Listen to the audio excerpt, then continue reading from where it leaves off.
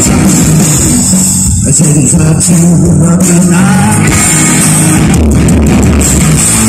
So she's so.